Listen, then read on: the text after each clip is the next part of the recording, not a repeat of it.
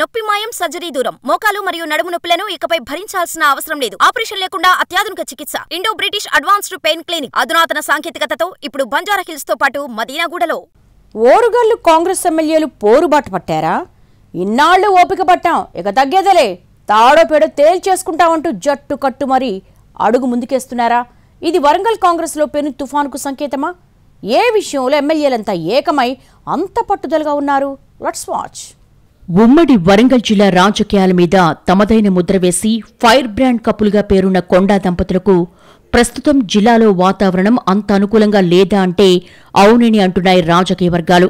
గతంలోలాగే ఈసారి కూడా ఆధిపత్యం చెలాయించాలనుకుంటున్నా ప్రస్తుతం మంత్రి వైఖరిని సొంత పార్టీ ఎమ్మెల్యేలే వ్యతిరేకిస్తున్నట్టుగా చెప్పుకుంటున్నారు. వరంగల్ తూర్పు నుంచి కొండ సురేఖ ప్రాతినిధ్యం వహిస్తుండగా ఆమెకు పోటీదారులైన బస్వరాజ్ సారయ్య మేయర్ గుండు సుధారాణి కాంగ్రెస్ పార్టీలో చేరడంతో నియోజకవర్గ రాజకీయాలు పూర్తిగా మారిపోయాయి. అప్పటికే జిల్లా అధ్యక్షురాలు ఎర్రబెల్లి స్వర్ణ కుటుంబంతో కొండా దంపతులకు వైరముంది ఈ క్రమంలో వీరికి వ్యతిరేకంగా ఎర్రబెల్లి స్వర్ణ సారయ్య గుండు సుధారాణిలు ఏకం కావడంతో గ్రూపు రాజకీయాలు తారాస్థాయికి చేరాయి. ఇదే సమయంలో పరకాల ఎమ్మెల్యే రేవూరి ప్రకాష్ రెడ్డితో కూడా మంత్రికి వైరం పెరిగింది. కార్యకర్తలకు ప్రాధాన్యత ఇవ్వడం లేదంటూ పరస్పరం ఫోన్లో వార్నింగ్లు ఇచ్చుకునేదాకా వెళ్ళింది వ్యవహారం. అటు నామినేటెడ్ పదవుల కేటాయింపుల్లో దేవాదాయ శాఖ మంత్రిగా ఉన్న కొండ సురేఖ వరంగల్ వెస్టు వర్ధన్నపేట నియోజకవర్గం వర్గాల పరిధిలోని దేవాలయ కమిటీల్లో వేలు పెట్టారట. దీంతో ఆ ఎమ్మెల్యేలు సైతం వ్యతిరేకంగా మారినట్టుగా తెలుస్తోంది.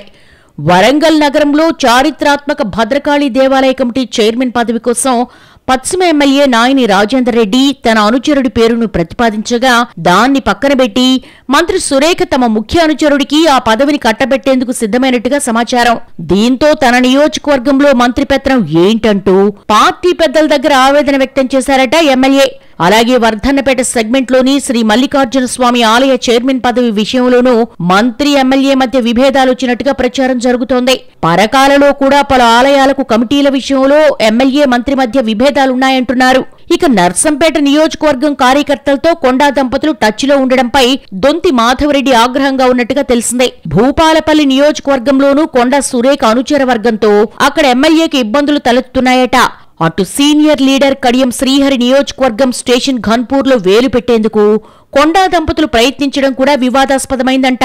ఆ క్రమంలో కడియం సైతం మంత్రికి దూరంగా ఉన్నట్టుగా సమాచారం. తన కుమార్తె ఎంపీ కడియం కావ్యను కొండా సురేఖ లైట్ తీసుకుంటున్నారన్న అసహనం కూడా శ్రీహరికున్నట్టుగా తెలిసిందే.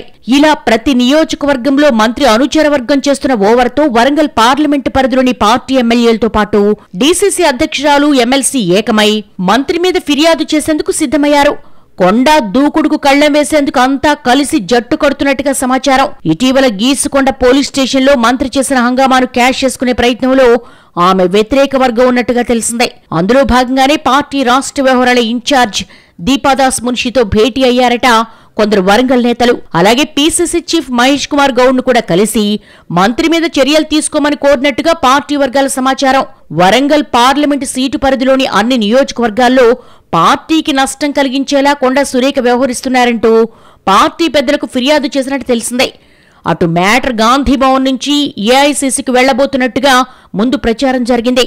సురేఖ విషయంలో తాడోపేడు తేల్చుకోవాలి అనుకున్న ఎమ్మెల్యేలు కేసీ వేణుగోపాల్ అపాయింట్మెంట్ అడిగినట్టుగా సమాచారం. అయితే సమస్య పరిష్కరిస్తానని పీసీసీ అధ్యక్షుడు హామీ ఇవ్వడంతో ప్రస్తుతానికి వెనక్కు తగ్గారట ఎమ్మెల్యేలు. మొత్తానికి మంత్రి కొండ ఎపిసోడ్ చినికి చినికి గాలివానగా మారబోతుందంటున్నాయి కాంగ్రెస్ వర్గాలు.